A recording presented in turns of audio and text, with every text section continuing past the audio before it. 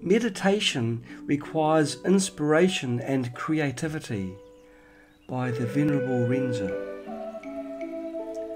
I have said that meditation is the road to enlightenment and the greatest endeavour of this life. If you want to attain enlightenment, you must practice meditation.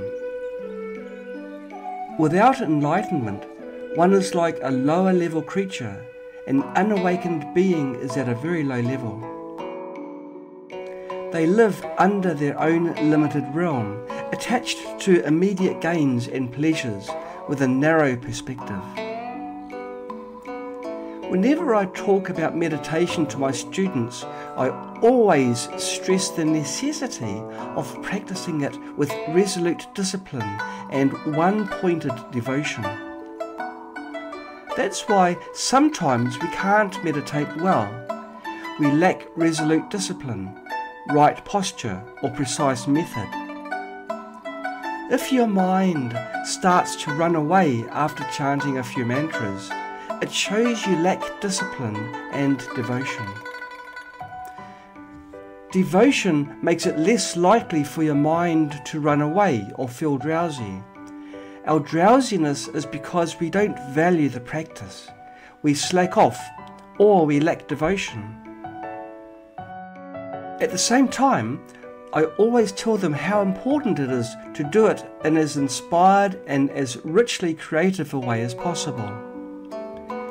During meditation, I can guide you but you also need to have inspiration. Without inspiration, even if I guide you, you won't realize it. Although I give teachings like this every day, if you are not inspired, you won't have much realization.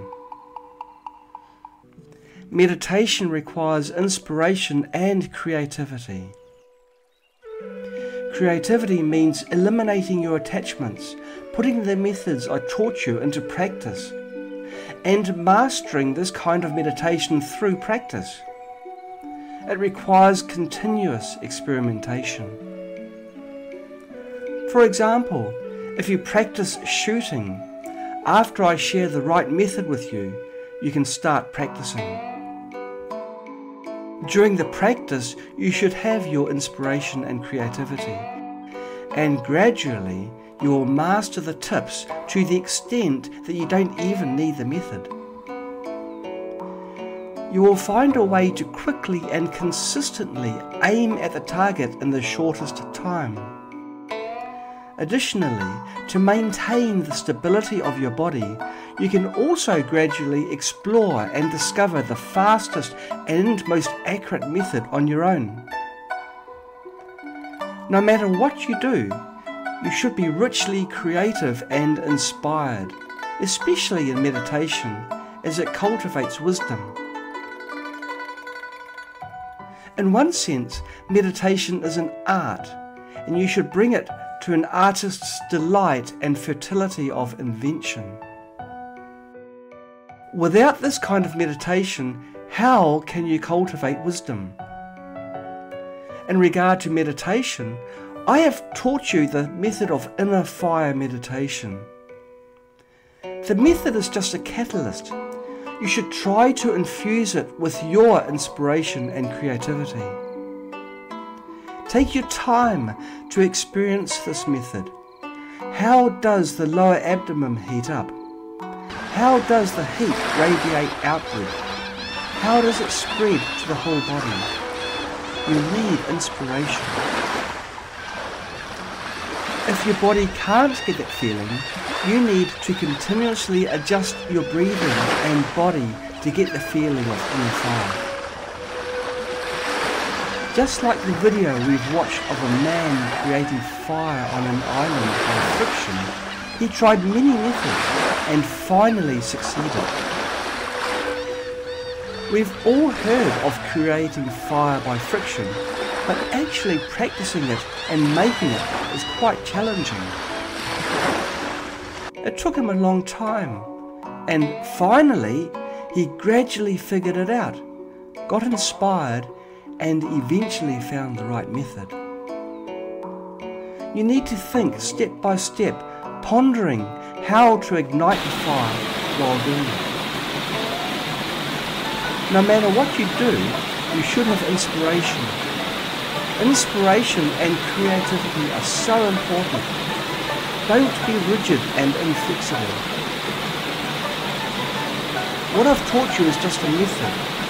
While the method leads you to flexibly learn through practice and master it, if you truly master it, it becomes the right method.